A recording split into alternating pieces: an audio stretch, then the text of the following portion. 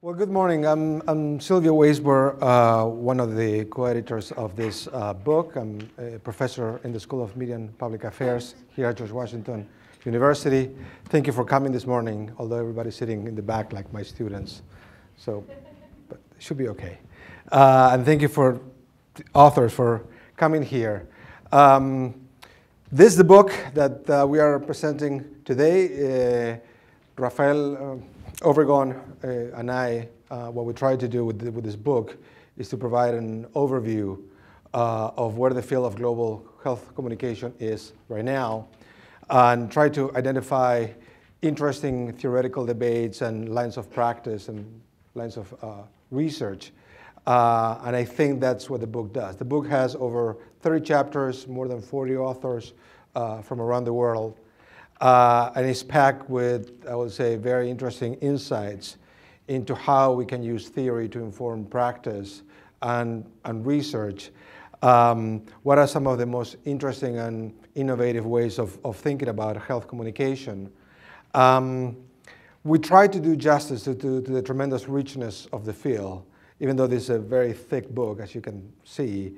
Uh, still, there, it's very difficult to capture all, all, that in one book. But I think that what we, what we tried to do and we succeeded is saying this sort of a state of the art about the kind of data uh, that, that we have about where, where the field is. Uh, and what we tried to do this morning is to have a conversation uh, about what's happening in the field right now. Um, one of the questions that I that actually Rafael and I have while doing this book is to what extent what we know about where the field is is widely known in global health programs, or if what we know about health communication is sort of a well-kept secret that not necessarily uh, people in policy circles, donors, um, NGOs actually know about the kind of work that, that we do, that our colleagues have done for decades um, around the world. Uh, so I would like to engage the, the authors in a conversation about um, some of these issues. So let me introduce the authors here. Um, let's say, do it. Let's say to my immediate left, Doug Storey, uh, Director for Communication Science at the Johns Hopkins Center for Communication Programs. Next to him is Doug Evans, who is Professor of Prevention and Community Health in the School of Public Health and Health Services here at GW. Uh, next is uh, Kerry Scott, who is a PhD student at Johns Hopkins University. Uh, next to her is Julie Pulerwitz, who is Director of HIV/AIDS Programs, ANTV Global Program at PATH. Next to Julie is Greg Pirio, who is President of Empowering Communications. And next to Greg is um, Elizabeth Fox, who is the Director of the Office of Health, Infectious Disease, and Nutrition at USAID. Okay? So let's get started. Uh, what I um, envision that we're going to do is to have a conversation for uh, 20, 30 minutes here, and then we're going to uh, open the floor for your comments. Um, so the first question that I had for all of you is, um, I think that what, what the book uh, does is sort of offer an, a survey of where the field has been and where it is right now.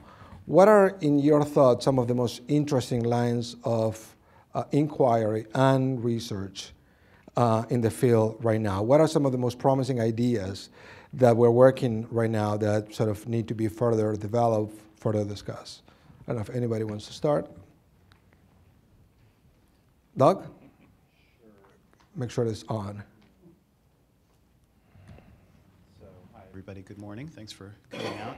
I mean, I think one obvious candidate would be uh, new technologies, uh, in particular mobile technologies. Uh, I uh, would um, bet that every single one of you is carrying a cell phone. Uh, and as we know, in many countries in the developing world, there are far more cell phones than there are all other forms of technology combined in the population, TVs and uh, home computers and so forth put together. There are more cell phones in many countries than there are all of those things. Those are tremendous tools, uh, new channels through which to deliver uh, health communication. Uh, we've been doing that for a while. Uh, I don't think we know very much yet about how to do that well. Um, there's starting to be some evidence, but it's pretty thin. and I think that's an area, a very promising area that we need to explore further. Thank you. Julie?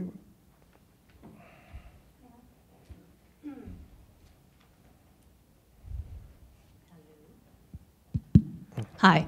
Um, well, some, an area that I'm really excited about is the, the growing opportunities to address gender dynamics um, in health communications and understand more about how gender affects health outcomes and what we can do to integrate gender focused programming to influence these health outcomes. So, for example, we know a lot now about how inequitable gender dynamics, whether they be related to um, men being encouraged to have multiple sexual partners or women not being supported to get education, leads to negative health outcomes. And over the last five or 10 years, I and my colleagues at PATH and various partners have been engaged in a portfolio to try to use innovative communication strategies, where it be related to interpersonal communication, group participatory education, or community mobilization, or small media, or, or mass media, to try to um, see the effects of programs in different countries. And the chapter, for example, that I was involved with uh, uh, writing compares some of our lessons from Brazil and India to very different cultural contexts, where we saw that when you use these communication activities, you, it led to one more equitable gender norms. We do a lot around measurement, the gender equitable men scale, and it also led to better health outcomes. So, or better, uh, more um, preventative behaviors like more condom use, reduced gender-based violence, um, increased contraceptive use. And so this, this is an area that I think there's been increasing interest and opportunities for funding, and I'm seeing lots of excitement around the work. So we're excited now to do, and what I think is missing is that while we know how to do work on an individual level or in a small group setting, we don't yet really know how to work on the community or how to institutionalize these exciting projects so that you can see impact when you try to scale something up. And so that's what we're trying to work on now with funding from anonymous donors and the Nike Foundation and others. So that's would be my contribution. Togo? Got it. Um, I, would like to follow on uh, some of what Julie said. I agree with uh, virtually everything. I think um, in our field, we've, in a way, we've been trapped too long in, in a sort of a dilemma of our own making, uh, where we, um, we talk from different theoretical perspectives. We all believe very strongly in the power of communication to change people and to change society. But we come at those questions from different theoretical perspectives. And I think we're at a, we're beginning to, to reach a point where some of our are methods for documenting the effectiveness of communication at different levels, at the individual as well as the community, and even at the, the societal level, are catching up with our theories. Um, so we're in a, in a position now where we have multi-level analytic approaches, we have um, the ability to measure change over time, sort of sequential change, how one, how one input has a catalytic effect over time. Um, and so this really gives us some of the tools that we need to look at phenomena, communication phenomena at the different levels and over time. And I want to just sort of do a shout out to USAID because I think their support for health communication over the past 30 plus years, 40 years perhaps, um, uh, their investment in long term programs, uh, multi year programs, has really helped to push this field forward. And uh, the, the opportunity to, to look at cumulative change um, and even to do some comparative work, national, cross-national comparative work, um, is largely due to their investments, I think, in health communication. So thanks to USAID. Anybody else wants to follow up on, on Doug's comments? Melissa? I can't take credit for 40 years, Doug. but we are, we are at, at USAID obviously looking at a lot of these new challenges. And I think Julie's put her finger on one of them, which is the whole issue of gender. Um, and also the issue of measurement. So um, I'll come back to this later when I'm looking at sort of how communication and health communication is changing at USAID. But I do want to say that the newer areas that we're looking at, um, you know, you hate to lead with technology, but technology is so out there. Um, gender, of course, but gender in a different way, as, as something that just is going to permeate a lot of the processes and um, access to communication throughout societies. And obviously, that old word we use all the time community, but getting your hands around community in terms of measurement has been very important. Let me follow up with that, with um, Elizabeth's comment on one question, which is the question of, uh, of evidence. We have several chapters in the book that actually document uh, impact, uh, not just on communication indicators, but on health outcomes as well, um, both addressing just plain evidence and also cost effectiveness issues. But it seems to me that those questions still, we are still asked as a field to show evidence, show, show impact. And I'm wondering if that is, is a question that we have answered successfully, but we have not communicated successfully, or there are still important gaps in the question that still the field has to address about how we document, how we address questions of impact. Who wants to take that? Oh, go ahead, Julie. Okay, let me try that.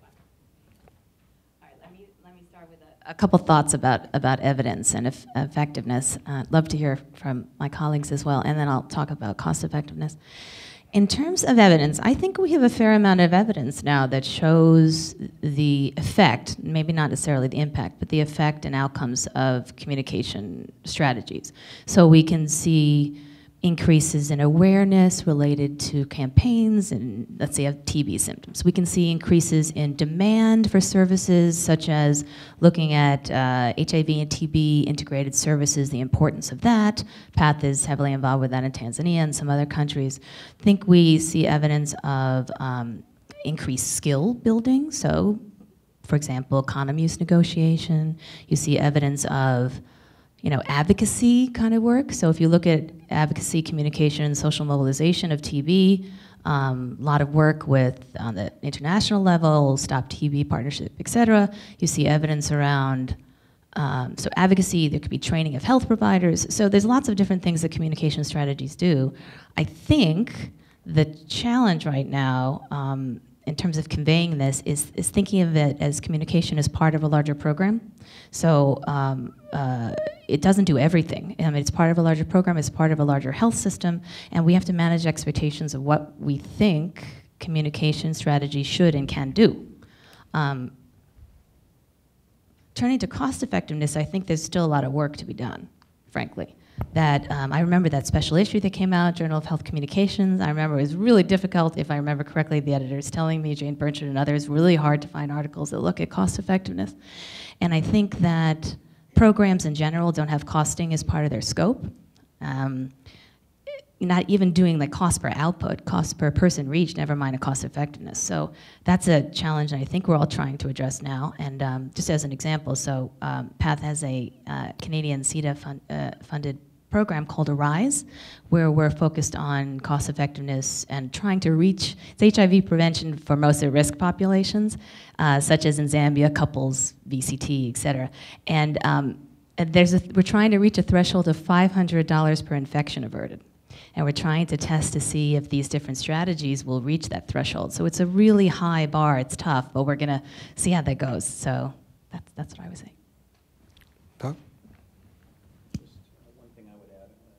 the comment about um, uh, communication as part of multi-component programs. I think we have some great examples of, of that in, in at work. Uh, for example, from the tobacco control field, where we have a set of evidence-based recommendations for best practices uh, from tobacco control. The CDC has a, an excellent publication. They updated recently on this, um, both in the U.S. and in um, uh, international contexts. Uh, what we know is that communication programs are part of a much larger solution that includes community-based programs, that includes uh, uh tax and regulatory uh, policy change, that includes multiple components. And communication programs are part of the solution. They're not the only part. So I think we have to keep that in mind.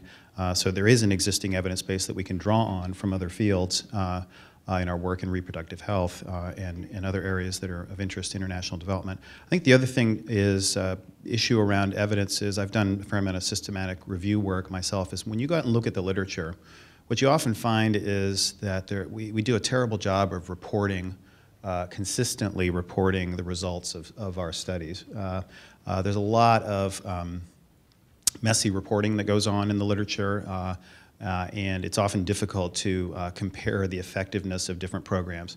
So I think as a field, we need to think about that and do a better job of consistently reporting effect sizes of programs, methodologies, so that frustrated systematic reviewers like me can feel happier.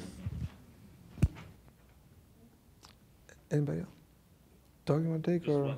Okay. Maybe just one more point. I, I, I sort of come back to this idea of longitudinal effects. I, if we continue to think of communication as something that has sort of direct, immediate impact on behaviors, on attitudes, and so on, uh, maybe even on, on certain things, actions that are taken at a community level, uh, I think we're going to miss the opportunity to measure the, the, the long-term effects that communication has.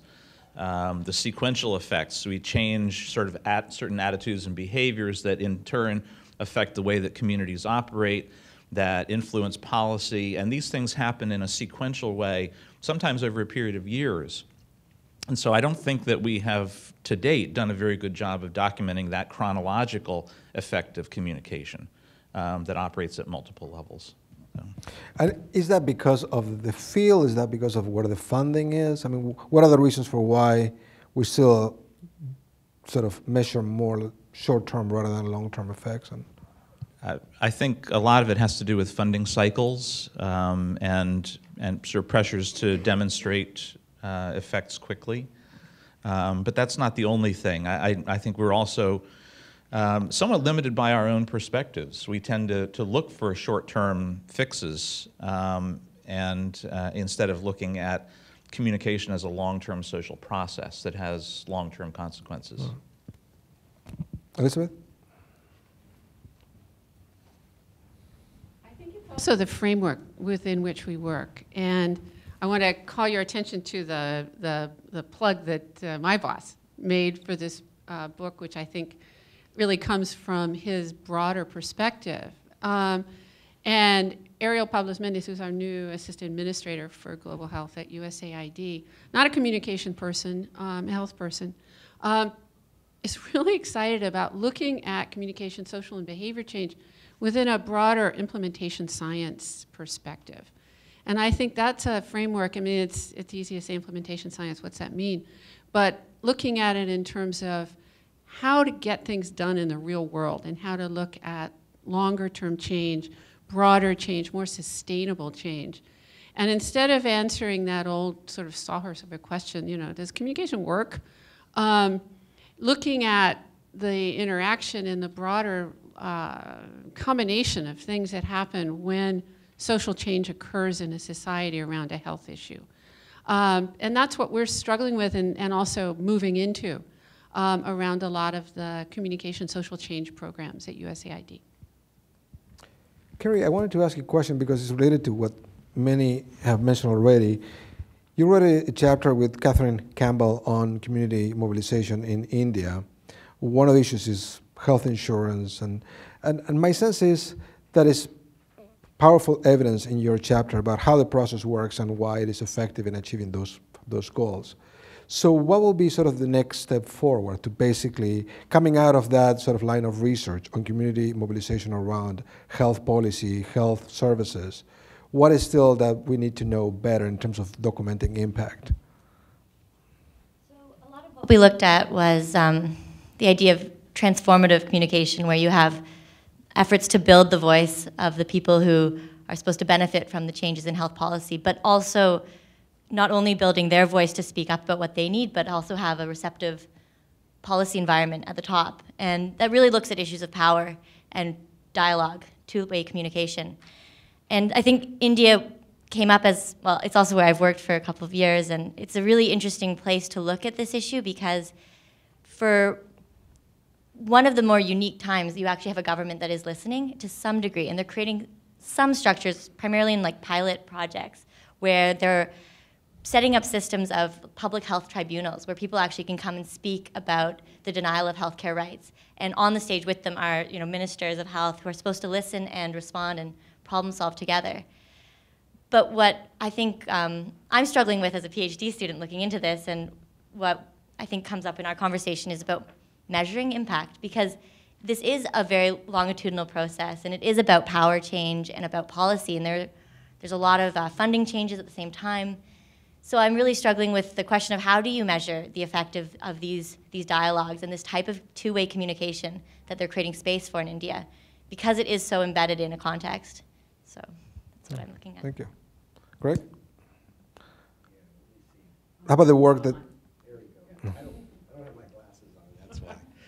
Um, I haven't studied across the literature, but I've had the good fortune the last several years to be out in the field a lot. Um, well, different levels, everything from uh, looking, helping to write WHO guidelines to, to walking from village to village, seeing, talking to people about, you know, different programs and how they're working and uh, what it means for their families and that. Uh, one of the things that strikes me, it, stru- it struck me uh, recently, and I think it goes to the issue of the length of programs, is I was recently, uh, last year, at the end of last year, in Mozambique on a project looking, I was looking at best practices in communication in an agriculture, nutrition, sanitation program. What was clear to me was the, the US, this was a USAID funded program, and that communities that had, were part of successful programs over the years were really off the charts in terms of what they've accomplished. And, and these are societies people had to confront the slave trade, and then they had predatory colonialism, and then after independence, they had 17 years of civil war. And so they're reconstructing, you know, their communities in ways they haven't been constructed before. And uh, I just thought, just wonderful results, but it takes time.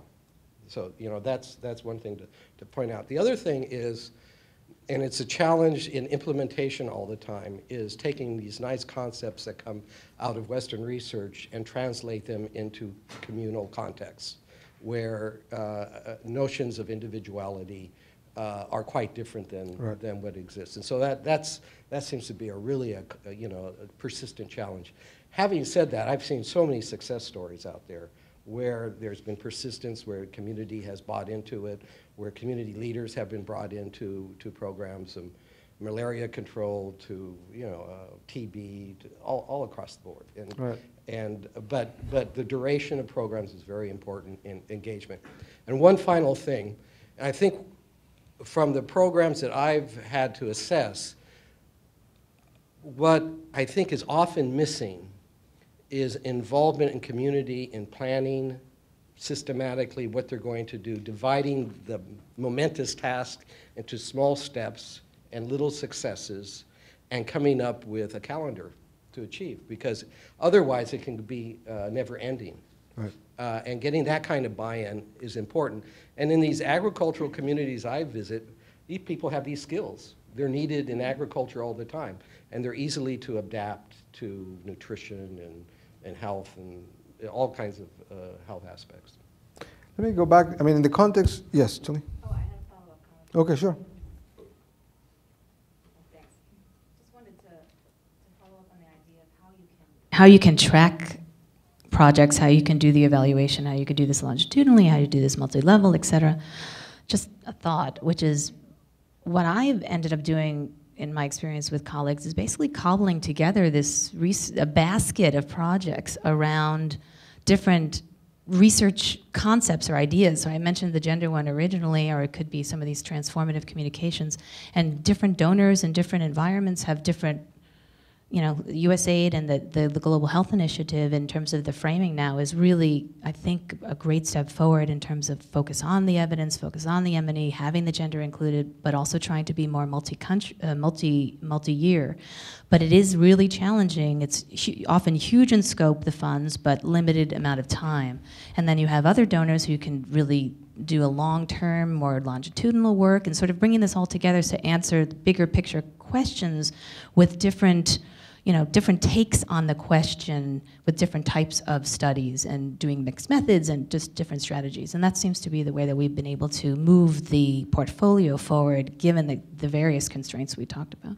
So given what we know and the challenges that many of you mentioned, and going back to the question of mobile health that Doug and Julie already mentioned, um, what sort of needs to be done? There is a lot of excitement, and by the way, if you are an avid Twitterer, you can Twitter, the hashtag is GlobeHealthCom, and if you never tweeted, this is your great opportunity to get started. So the question is, there is a lot of excitement, as Doug said, and uh, a lot of funding, a lot of projects, a lot of ideas, in fact, way outside communication. People doing mHealth who never thought about communication, never took a class in communication, never did any communication research. Um, so the question is, what sort of needs to be done? What kinds of questions need to be asked? What kind of research need to be done in order to address some of the challenges that still exist in our field and show that you know, mHealth does contribute to addressing some of the problems that we have in terms of health outcomes, but also some of the questions that we still have in health communication. What are your thoughts on that? Um, I, I recently completed a literature review for the Gates Foundation looking at social behavior change communication uh, for family health over the past 10 years or so. And most of the examples, and this has been alluded to already, most of the examples of the use of sort of the newer social media, cell phones, mobile technology, um, uh, are still focused on communication as transmission. We're still looking at those as sort of new delivery channels as opposed to looking at how they are part of a, of a communication process. And I, if I had to sort of identify one sort of shift in perspective that's critical for our field, it's uh, thinking beyond communication uh, uh, uh, delivery and, and direct impact and thinking more about communication as a process. So the question is how do, uh, you know, how do smartphones um, change the way that people build relationships? Um, at, uh, at, a recent conference in Seattle, um, there was a lot of discussion about the use of mobile technologies for individualized storytelling. Right? I mean, in a sense, you put a, a hand phone in someone, I mean, a smartphone in someone's hand, and they immediately become a film producer. Right? So thinking about ways that, that, that these mobile technologies, these decentralized um, uh, technologies that that cede control over the technology to the end user.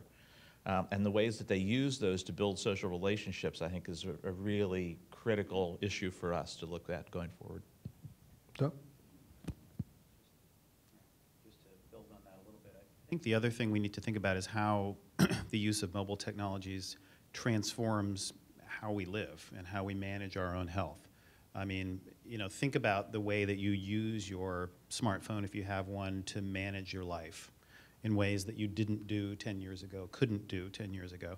Now think about that applied to health. And for example, I'm working on a project uh, that involves uh, essentially uh, managing, individuals managing their health care, health care around cancer screening in particular, using mobile phones as uh, as the, as the platform, and that's, that's, about a communica- that's about a dialogue with your doctor, basically, about maintaining a relationship with your doctor to manage your health care. So, you know, that's a, that's a fundamental kind of change in the way an individual might manage their own health care. So we need to think more about how that applies to a whole range of topics that we're interested in. And that, that is a communication process. And uh, it's thinking about it as a dynamic process and one that changes norms and expectations and essentially our, our lifestyles, uh, which has already happened. It's just that we haven't really integrated that into the communication research that we do. Lisa? What we look at in, in health um, always comes back to health, not the communication side. It comes back to the public health impact. And the two things that sort of jump out, and they're really hard to measure, but they're not, um, is scale and cost. I mean, what mHealth is doing is changing the scale that can happen with a public health intervention in a way that we never thought of before.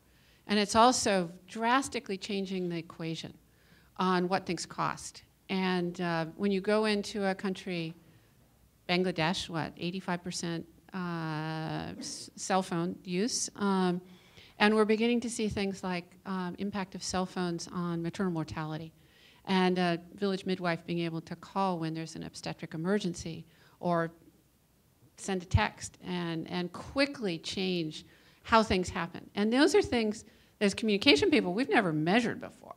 Um, and it's like the questions are evolving much quicker uh, than we are in terms of how do you measure this? Because we're continually being asked, so how do you know this is where you want to put your money?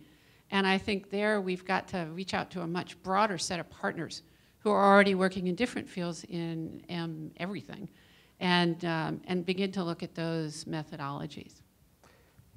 Julie?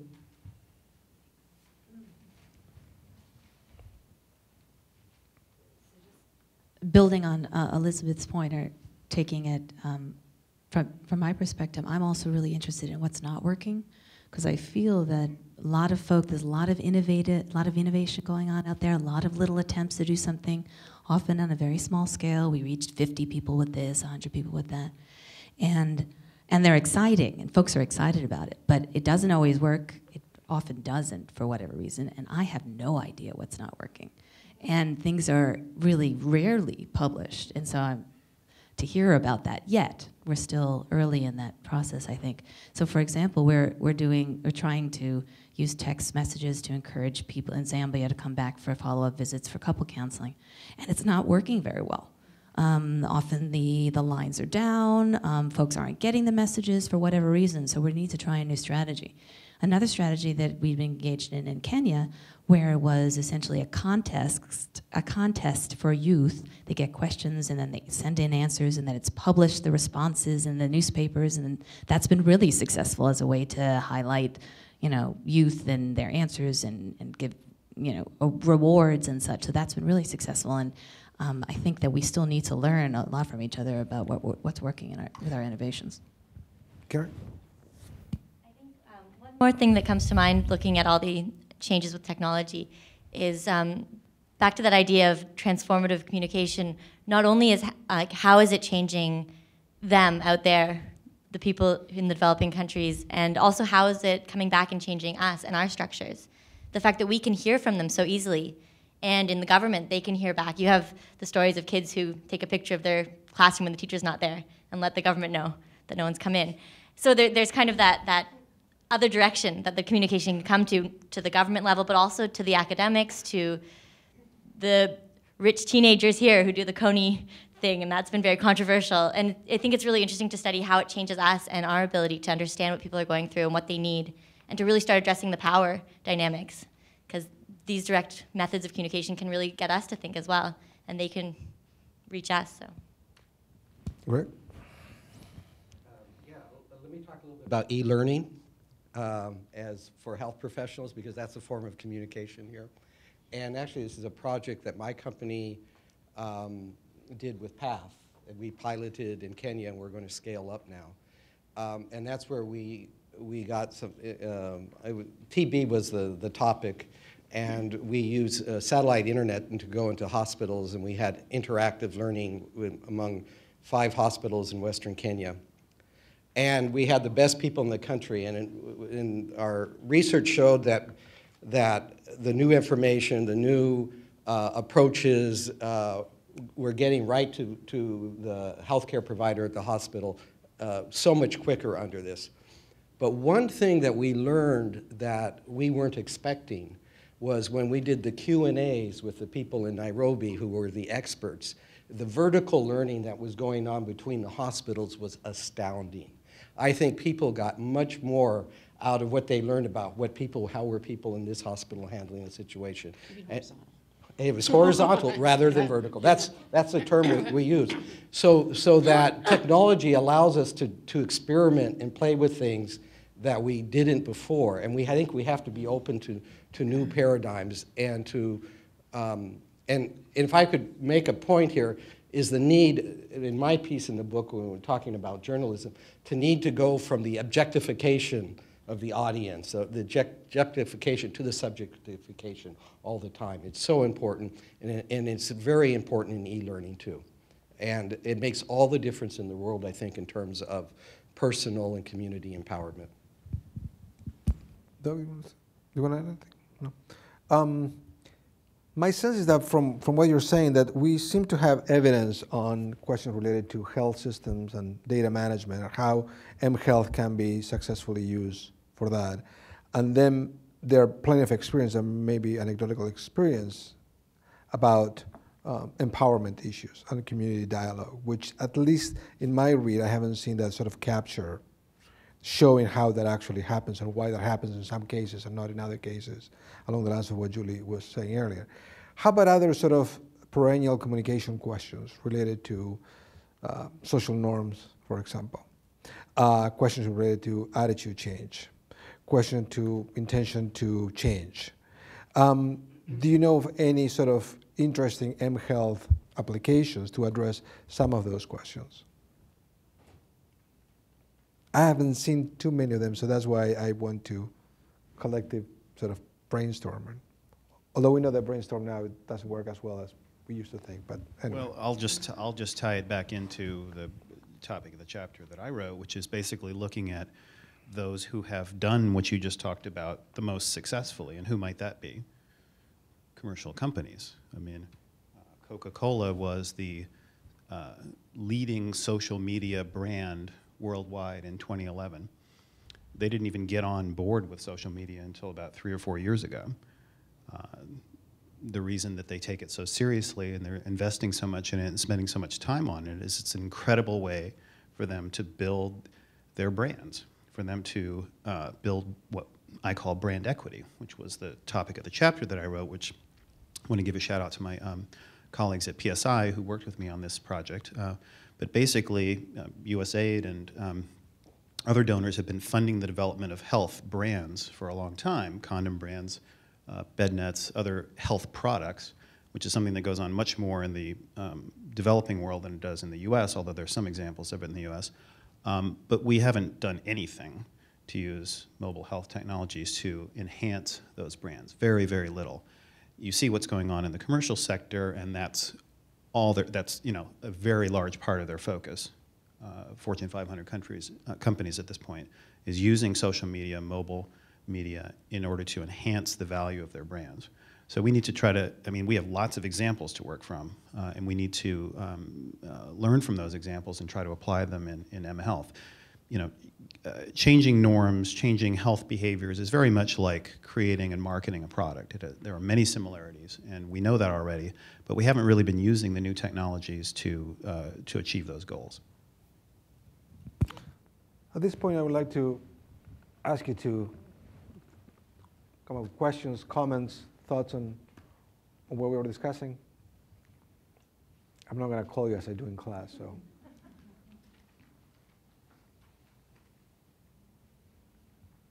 Yes, if you can identify your, yourself. My name is Caitlin Garlow. I work with Sabin Vaccine Institute. Um, I see that there are a lot of chapters in here related to entertainment and using that as a method to communicate health ideas. I was wondering if you could just comment on any great examples you've seen. Entertainment education. Do you want to go with Mabruk? There, there are a million of examples. There's, uh, uh, there are a lot of very interesting projects coming out of South Africa right now, uh, ones that I'm familiar with um, at, uh, at CCP. Um, the, the Tsha Tsha television drama, which is a sort of long running AIDS prevention um, television serial, um, is, uh, has been evaluated extensively and it's very powerful. There is even some evidence that it's contributing to um, uh, a reduction in HIV uh, infection rates, HIV prevalence. Um, certainly having a major impact on condom use, uh, particularly with younger generations. Um, there's another new project called Intersexions that focuses on, it's another television serial drama that focuses on uh, sexual networks, and it's a, you know, it's a, uh, a series of characters who don't know each other but are connected by their sexual networks. Um, some very powerful stuff that sort of pushes the envelope in terms of what's, uh, you know, what's proper to talk about and, and uh, you know, opens the door on discussion of very sensitive issues. So I think there are a lot of examples right now of some very powerful entertainment education projects. Um, those are just two that I know from South Africa, and there are many others. There are a few extensively discussed in the, in the book. the radio programs uh, done by Minga in, in Peru until very recently with a lot of documented impact. Um, there actually is a chapter that provides a survey overview of what we know about entertainment education and new directions. Anybody else wants to follow up on the entertainment question or other questions, comments? Frank. I'd like to, Frank Sesno I'm director of the School of Media and Public Affairs. I'm very interested in what you were talking about in terms of connecting the technologies to behaviors and social interactions and a, a little bit more what you meant by that and some examples that you might cite uh, where we're actually seeing it as more than a communications device, but as a sort of behavioral device. Um, well, of course, there are a lot of examples in the popular press about you know the Arab Spring and the role of of uh, cell phone technologies to link uh, you know demonstrators and to mobilize and coordinate uh, social action. Um, but I think I would sort of come back to one of the the questions that Silvio asked about um, how communication influences social norms. If you think about where norms come from, they're a product of sort of seeing ideas and behaviors uh, in your in your network and in your society, sort of visibly seeing what other people are doing and thinking, and uh, you know extrapolating from that to um, uh, you know estimate the prevalence of ideas or behaviors and the the support that they get. And I think the some of the mobile technologies, these decentralized technologies that we have now, um, allow people to share those ideas and make them more public, um, and create a, a, a a much stronger, well, create the opportunity to see what other people are thinking, to hear what, uh, about what people are doing, um, you know, out of your, out of your, your, your immediate uh, environment. And so that encourages this notion that what people are doing may have, uh, you know, a bigger uh, presence in society. And it does shift the, the, perception of norms, what's acceptable. So I would sort of point to some of these, these networked technologies as uh, essential to building normative uh, support for an understanding of uh, you know, how we can be more healthy societies. I'm just wondering if you have concrete examples of where health behaviors have changed as a result of a particular smartphone application. I, I, can, I can give one example. Um, well, there, I think there are a lot of examples of that, but one specific one that I think gets to what I, I, interpret you to be saying. In other words, not thinking of the mobile phone simply as a channel, right, as was discussed earlier, but the idea that it's a behavior change device. So I think a, a good example of that, some of the work that the CDC has done in the United States, encouraging um, uh, vaccinations and immunizations, uh, especially around events that have transpired. So, for example, there was an outbreak of pertussis in California uh, in the summer of 2010, if I'm remembering correctly, and they used uh, a mobile phone-based campaign uh, to encourage um, folks to go visit their doctor. Uh, so that was a, you know, the use of the mobile phone in response to a healthcare event uh, to mobilize public action. That's still a communication. I mean, that's yeah. Well, it was a behavior change uh, uh, outcome. So I guess the question is, what do you mean then by behavior well, change, I'm if not that? Off the comment earlier, because right. right. isn't that that's a high tech bus poster? Yeah. Right. It's coming directly to me, perhaps, but it's still. I'm, I'm, I'm trying to get my brain around what you were talking about earlier in terms of. Can I give it a try? Sure. Um, I'll go back to cell phones and text messaging in Bangladesh, giving phones. Well, they didn't have to give them to them; they had them giving them to moms and to midwives. This is a country where, what, 60%, 70% of women deliver in the home, um, and where maternal mortality is high, relatively speaking, to this country. And looking at the direct public impact of being able to signal when or if an obstetric emergency is happening and have that woman either be taken rapidly to care or care come to her. And that's, we've measured it, We've so, shown it. There's a 40% reduction in maternal mortality over the last 10 years in Bangladesh. So, so that goes beyond the frequent uses of mHealth as a reminder. Because when you have a strong positive social norm, then if you remind people about certain things, getting tested or checked with doctors, et cetera, et cetera, or you know, practice certain behaviors, it's likely that it is a high-tech way of reminding people about what, what's going on. But your example is about actually when there is a problem, when there is a weak social norm or a weak practice, and how you can sort of uh, nudge people to actually seek out advice or seek out help. And it changes the norm about women don't have to die. Right. You can look for help. Right. Anyone? Yeah. Right. Hi there, Brian and Brennan from the Pan American Health Organization. One, I'd just like to make one comment on the um, M Health that uh, Frank just mentioned, and that is it becomes a conversation.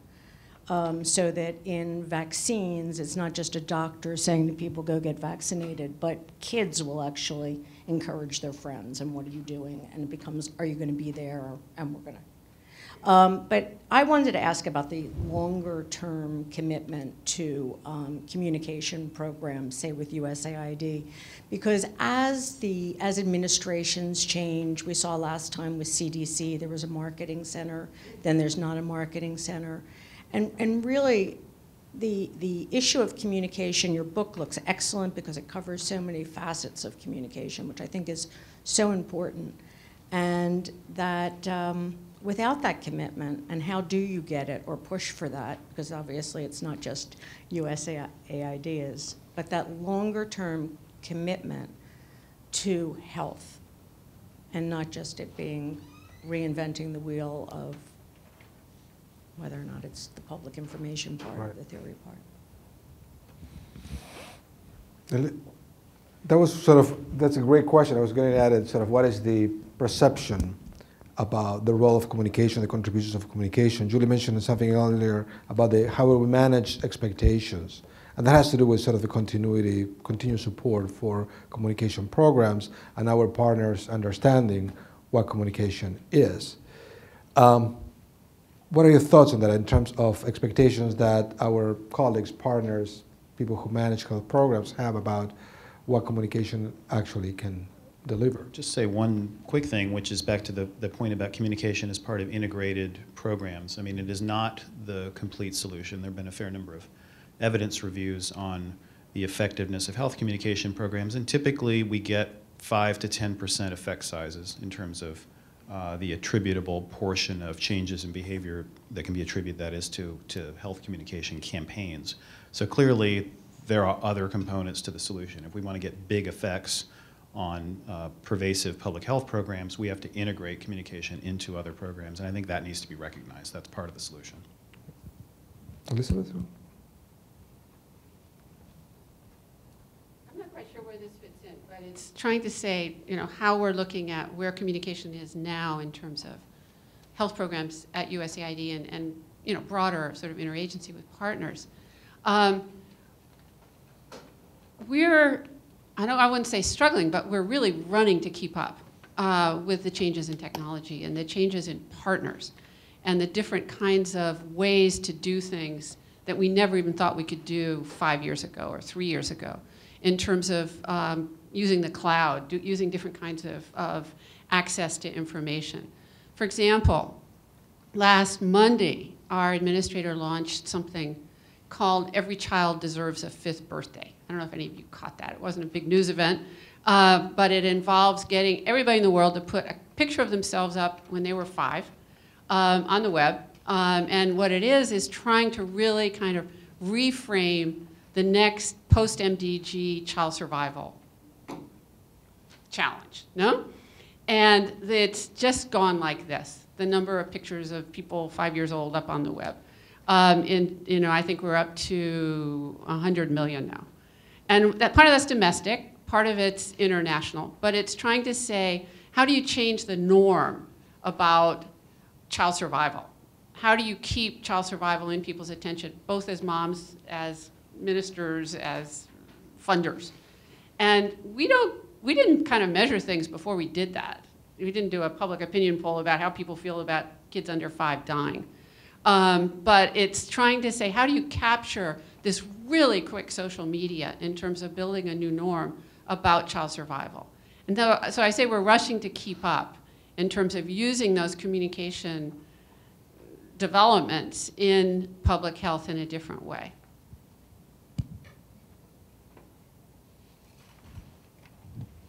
Here in the panel, any questions, comments? Yes. Hi, Joanna Harvey from the Sabin Vaccine Institute. I have actually a question building off of what you said. How do you translate that kind of broad public awareness campaign back into country-owned policy and the policy that comes from donor governments? Like, it's great that we had 100,000 people tweet, but what does that really mean? 100 million. 100 million. What does that really mean, like, at the end of the day in terms of policy and influence? Are you guys tracking that? There's a, it's, it's sort of a much broader effort that will involve um, a, large-scale call to action that's going to be sponsored by countries and by our own government. Uh, the ministry, the uh, government of India and the government of Ethiopia um, are getting, and it's, there's a multi-sectoral effort around this. This campaign, Every, Cat, Every Child Des- Deserves a Fifth Birthday, is just part of it.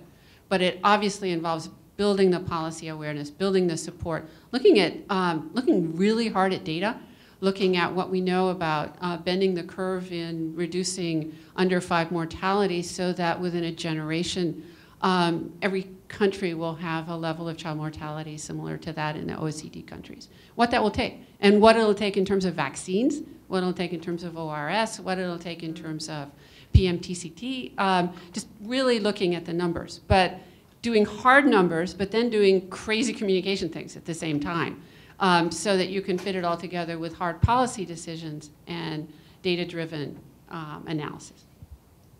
Julie?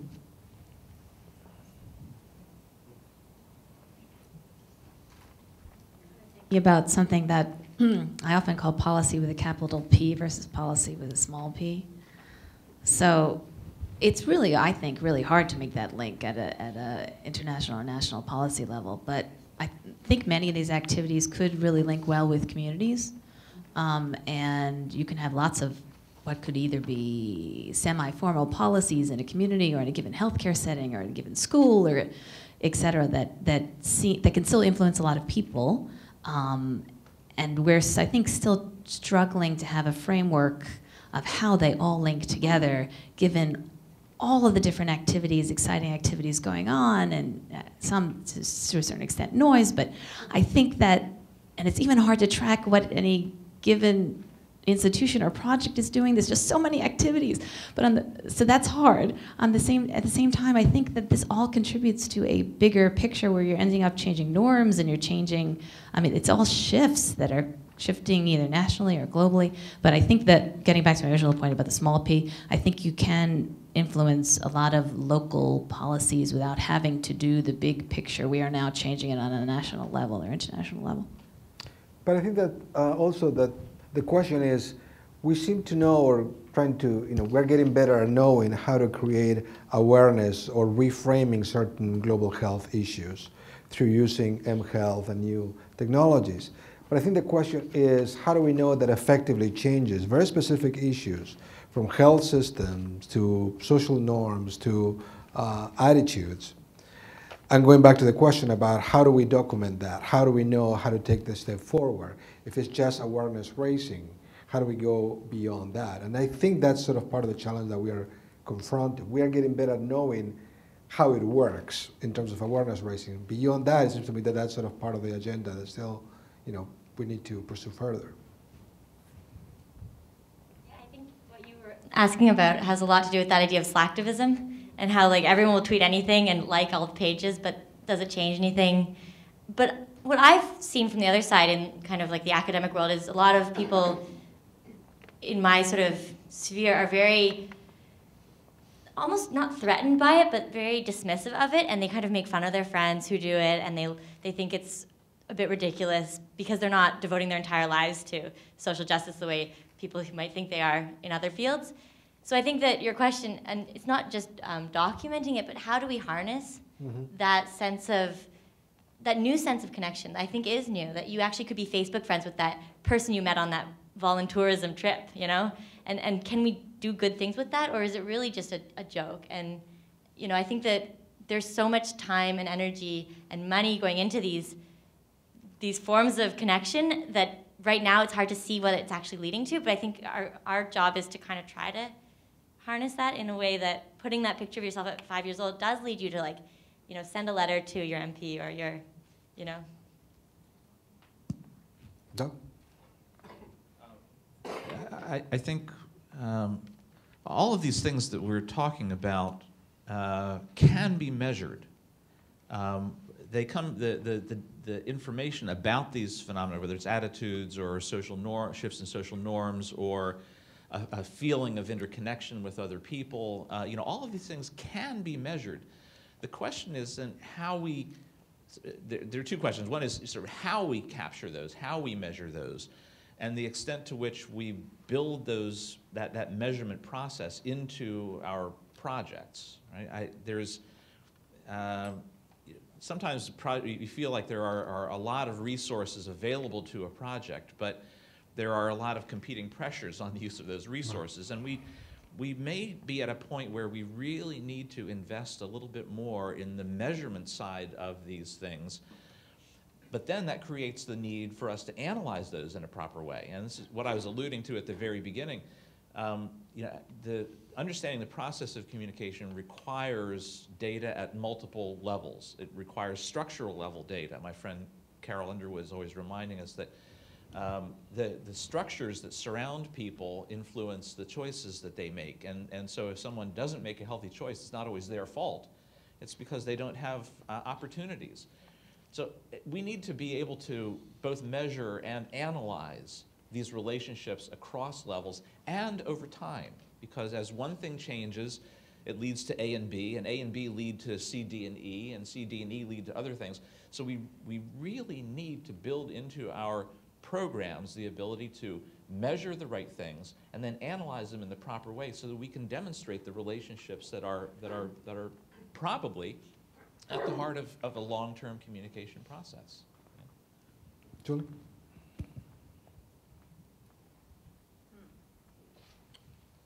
I agree.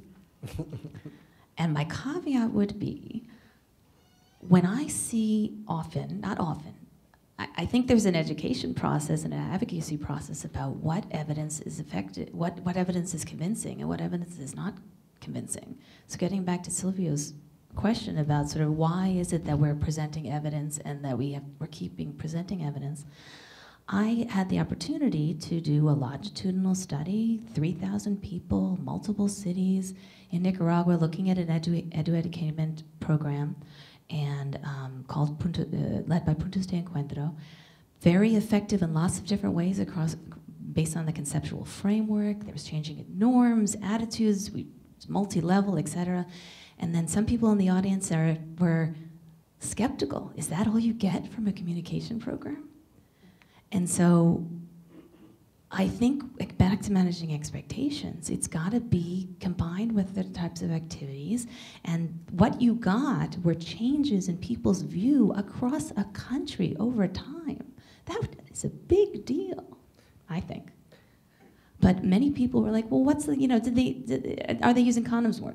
You know, and some people were, but some people weren't. But that's back to the question that, you know, I, uh, if you go back to previous waves of new communication technologies, the 60s and the 70s and the 80s, there was always the notion that the new technology will be effectively used and transform all kinds of things, particularly health outcomes.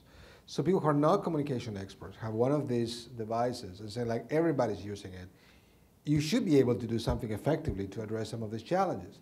And then the communication sort of Eeyores come back, well, it's more, more complex than that, it's not so, so easy.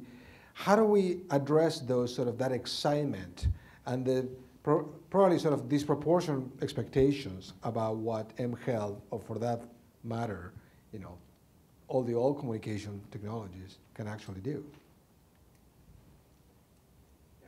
I think it's an issue here of, part of it, of the issue for me here is how is change possible? What makes people change? Um, I think this, the example you come of the five-year-old mm -hmm. is exciting because it makes people feel. Mm -hmm. and, yeah, and, and so we get beyond just the consequence model of change. That, yes, we're rational beings and we're going to do that, to I'm feeling something here, and, I'm, and, I, and I create an identity that may not have existed before with another person who I may not know. And that, that opens up people to change. Obviously, that has to follow by direction. What path then do you take with that new feeling, that new experience that you have? Uh, But I think when we get down to it, this is, we have to get down to that, those fundamentals of, of how people change and what makes them change and what motivates them to change. And I think being, feeling people is one of the most important aspects of that. Can I just say, in, in describing a sequential consequence model, as you described, I wasn't uh, for a moment discounting the possibility that emotional reaction, what you feel in response to a situation or an encounter with another person, is not a part of that of that process. It's absolutely an essential one. And we, we traditionally have not done a very good job of incorporating emotion into our explanatory models of change. uh, again, back to the most successful communicators who were out there, big commercial brands, what do they do to brand their products? They create emotional connections with their consumers. That's what they do. So I think we, we haven't been particularly good at that, although there is certainly, to be fair, quite a bit of research on uh, the influence of emotion, for example, the Fear Appeals research and, and others. One of my colleagues here, Monique Mitchell-Turner, focuses specifically on that, that topic. Um, but we haven't done a very good job of figuring out how to incorporate emotion into behavior change programs, uh, behavior change communications as components of larger uh, programs that use multiple components, including policy, community, and so forth.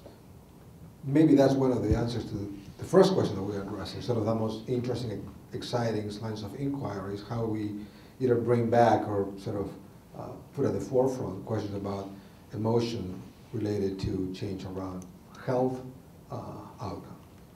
Other questions? Yes. My name is Marcia McCoskey, and I'm in health communication.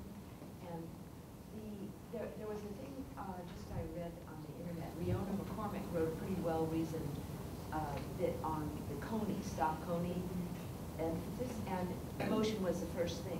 And also a sense of urgency. And it seems like, you know, like in the riots back in Detroit in the early sixties, everybody was on the phone, and everybody in the community was at the place where those riots were happening, just within minutes, because it mattered to them. So, like, the emotion aspect of it, of course, that's going to resonate with people. And it seems that, you know, the whole Miguel Sabido approach with the uh, entry education dramas and all of that, that's really based on a lot of emotion. And so many of the different organizations are doing that, focusing on that. And it seems like and, and she, another thing she said in that article was just that trying to get people to make behavior change on a long-term process, you know, not something that they feel is urgent today, that's going to show up less dramatically than if it's something that everyone can get behind right now. So maybe it's about positioning these issues in an urgent way Right. Great point. for today. Julia? Uh, Thanks. Julia Rosenbaum with um, FHI 360, the Wash Plus Project, USAID's Wash Plus Project. Um, In talking about emotions, I might want to add that to that list of sort of trends that we started with is, I don't know if it's the return to or maybe a more concerted harnessing of those emotional approaches. And I know when HIV first hit and we started uh, making responses, there were a lot of those emotional responses, particularly fear. And for all kinds of reasons, you know, they, they were found not to be effective if it was the Grim Reaper side. And people like Kim Witte have done really important work trying to look at fear and self-efficacy together as a, um, a quite effective approach. And what's interesting when I move from some health issues to working in water and sanitation, I think that's one area where there sort of a more advanced use of some of those emotive responses, and particularly community-led total sanitation that, that very explicitly uses fear and disgust that you are eating your own feces, and therefore the whole community commits and then takes action, and hand washing some of the London school work has gone back to disgust as the most sort of primary motivator for, for hand washing. And perhaps the research is there, I asked the panel, but otherwise maybe one area we need to try and do is look, you know, what does it mean to harness those emotions, and particularly as they relate to social norms? Because I think that is a lot of what's happening, is when you can hit that really resonant emotion, it's, it's some way an express route to getting at a change in social norms, because therefore you have at least something of a coordinated or a, a mass emotive response that propels forward and, and I think chisels into that normative level. Marty? Uh, Building on those things, I was very impressed to see how these new partners and new technologies uh, have managed to uh, handle emotions. In the case of pandemics, recent pandemic situations where uh, you could see the mapping and tracking of the epidemic, which immediately trigger a response at all societal levels from the international, here at IMF and the World Bank, discussing immediate activities that needed to be done by ministers of finance, not ministers of health, to confront an epidemic that was three days from landing in their country, all the way down to community responses. I, I don't know, I mean, we're talking about new partners. Google probably knows very well how to measure things.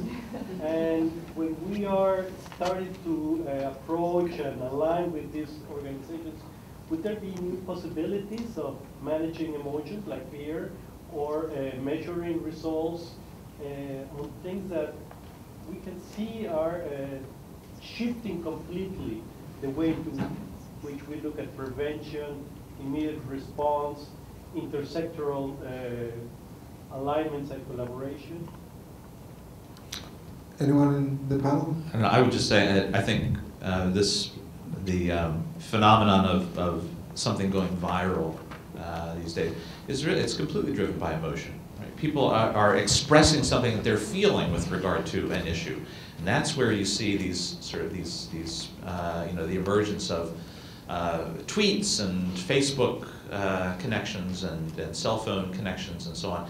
So I, I do think we need to look a lot more closely at how emotion plays a role in this sort of immediate response. And, and, and then, of course, as, as more and more people, as I was saying earlier, as more and more people communicate about something that they're feeling passionately about, it shifts the perception of what's common, what's normative. So these things are, are, are completely intertwined. I guess what I would say is, I mean, on one level, it's sort of an obvious comment, but on another level, it's not obvious what to do about it. it the idea of, you know, what, what commercial marketers do is they, they use emotion to frame an issue, right, to frame a choice. Uh, and, and if you, you know, if, if, uh, if, if you feel guilty about something, and you're presented with a situation where you can alleviate that guilt by doing something, right? The environment is framed for you in a way that, that presents that choice to you, then you will more than likely take that option of trying to alleviate your guilt by doing the behavior. And so those kinds of things happen naturally, right? They happen virally, and then people respond to them. What we're not particularly good at doing in health and health communication is creating those frames, right? Commercial marketers are, are fantastic at creating those frames in order to get us to, to make choices based on emotion. We're so-so at it. So I think that's one of the things that we need to focus on becoming better at. But I think that also, at least in our field, historically has raised all kinds of ethical questions about that not only that not all emotions are fair game, but some emotions may be complicated ethically to uh, address, even for good causes. You know, fear. Yes, we know that we can increase risk perception, or we can increase the perception of tangible benefits for doing something else, but that's not necessarily the same. And I'm not just talking about fear. Even if you sort of appeal to emotion or connectivity to the stuff that commercial advertising has done so you know, well uh, for, for decades. I'm not clear that in the field people feel that it's sort of, you know, is legitimate to appeal to, let's say, good emotions, connectivity, family, all that, even though we have done it, because somehow you are, quote unquote, manipulating people into doing something. So uh, I think that's a value analogy. I'm not saying it's right or wrong, I'm saying that's my read of what has happened in the field. Craig? If, if it's genuine, it's not manipulation. Uh, it, the other thing is fear. I'm not an advocate of fear. fear narrows one's perception of reality and often leads to projection onto others of, of the, fear of you your, your flight response. You know, it, it, so I, I think that's that, and I've seen in places. Again, I'll go back to an example of Mozambique. Uh, there's been some interesting studies on uh, the fear about HIV/AIDS in the early campaigns and how that was projected out and really increased stigma against people living with uh, HIV/AIDS. Um, and but emotion in the sense of creating identity with others, uh, a sense of who I am as a person, uh, um, or my community. I've seen this too in communities where communities have developed this sense of this is who we are. We don't tolerate this. Uh, uh, not using the latrine uh, is not a good member of the community.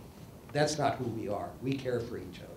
I mean, I've, I've seen this at the local level, pick, picked up by churches and mosques uh, often. Um, very powerful stuff.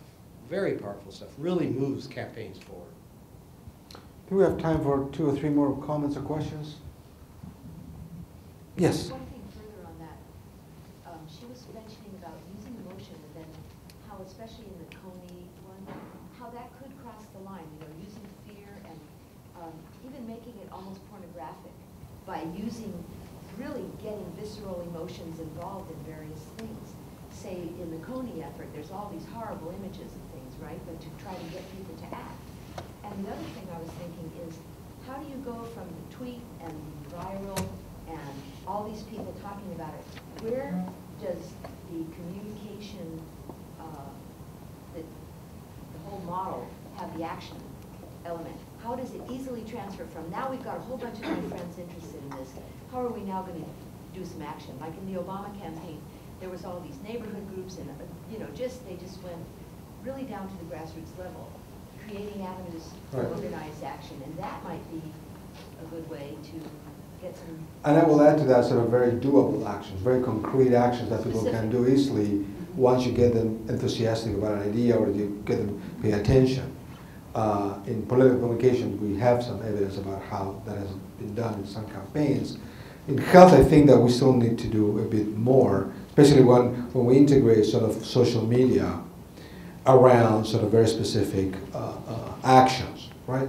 What would be the equivalent of donate now or contact or call somebody or go to a certain square? I mean, what would be the equivalent in health communications? That's sort of a very fertile area of, uh, of research and, and, and practice. Uh, I'd like to give you a chance if you want to make sort of any closing comments or final words. I think it depends on the behavior. And that's what we also have to keep in mind, I think, with all these things, is not all health behaviors are alike. Some are one-shot deals, some are over your whole life, some are community, some you can do by your own self. I mean, it's really breaking down, like, as we get smarter about communication, also getting smarter about the behavior itself. And that is a field I think we've tended to kind of lump things, and being able to make more specific, both recommendations and then also the need for data around the types of behaviors.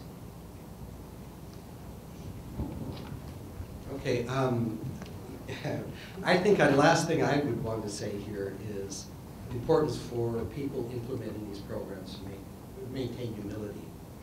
Um, I've, I've seen so much outsiders coming in with cultural baggage and not understanding the dynamics of local community, not being sensitive to it. Um, and um, especially um, who are the power brokers in community, who are, we're, we're talking about the gender thing. I just, I, I realize when I go into a lot of rural communities and we're in community meetings, you begin to ask, all right, who's the midwife?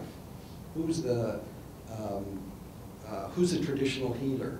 Uh, these are just really important power brokers in society. Once you break the ice like that, the community opens up and begins talking to that. And you find that the women who are often the traditional healers are often the midwives, just powerful members of the community that don't fit into um, formal kinds of structures, but uh, are really important. And um, so, you know, just the humility of, of being open to uh, what, what's on the ground and who these people are and what's valuable to them. Let's see, a final comment. I guess I would say something about, as I was sort of listening to the discussion around emotion, et cetera, I think it's very important individual perspective, as a more cognitive, individual, emotional perspective. And I would, my plea would be to take us back to the more the ecological model to make sure we're taking into account some of the other issues that have been mentioned. So we can have individual choice. There are circumstances where the community is making a decision about something. There are circumstances like gender dynamics where within a couple, one member of the couple wouldn't necessarily have the ability to make a decision. We're talking about uh, structural and policy environments where there's stigma discrimination or other issues that you need to take into account. They all play out on what an individual eventually is able to enact or not. And while this is a model, it does, as opposed to a theory telling us how to address it, it does help us see that it's really important to have interventions or activities related to all those different levels and not just the message that comes out. Um, and so some of the work that we've done over time and others have shown that it's really when you add these levels together that you get additional impact. So let's, that would be my plea. I want to um, thank you for including me on this panel. It's quite a privilege to be up here with you. Um, and I guess in terms of closing comments, just to what I'm thinking about is continuing to consider how that message can come up and how the powers that be can be receptive to those messages. Because ultimately, these are channels for the, the current dynamics that are already in place, and you have to think of ways that those voices can be heard and that what they're saying actually gets acted upon. So from a perspective in Indian public health, is how, how do we get the, the denial of healthcare rights, that raise that increased awareness of their rights, to actually have a channel to improve the system to actually deliver those rights. I don't think there is necessarily an equivalent of donate now in health communication, but I think we, uh, this isn't quite that, but I think we should remember the power of diffusion. Uh, we've talked a lot about communication in different ways, but we haven't talked much, we've touched on it maybe, uh, about the idea of communication in order to influence people to influence others.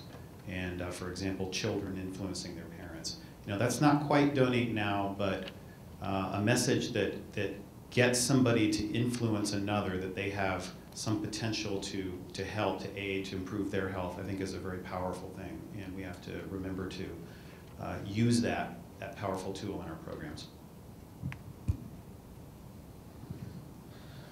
I guess I would sort of come at this from the, the uh, try to come at it from the perspective of the field. Um, we're, we're, it's likely that we will always be challenged uh, from, the, from those on the sort of the biomedical side who say, well, what does communication have to do with HIV infection? Right? Um, and, the, and it's really the wrong question um, because you know, communication doesn't affect the HIV virus, but it affects behaviors that influence the transmission.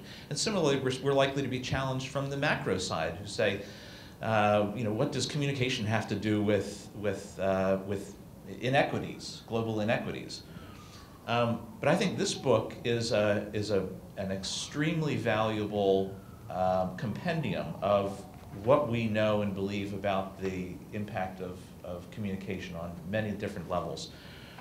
I think we should all sort of go out of this room feeling like advocates for communication. We sometimes undermine our own mm. case. You know, someone says, "Well, you know, communication doesn't work," and say, "Well, yeah, we don't really have the evidence for this, or we don't have the evidence for that," and and so it gives the impression that we ourselves doubt that communication can make a difference. Right? We we believe that communication changes the world. Most of us do, I think. anyway, uh, and I think we should be advocates for that position. And this book gives us a lot of the, the evidence and the ammunition to make that case effectively and say, well, perhaps we don't measure this properly, but right, this, we, we believe that if, if conceptualized properly and measured properly, um, we can demonstrate the, what we believe is right, true right. about communication. So let's go out. And for my conclusions, I kindly invite you to read the conclusions of this. Hopefully, I want to thank everybody. I want to also thank uh, the Director of Communication at the School of Media and Public Affairs, Samara Sid, who put together this uh, great event. Took a lot of work and it came out wonderful. So thank you very much and uh, see you next time.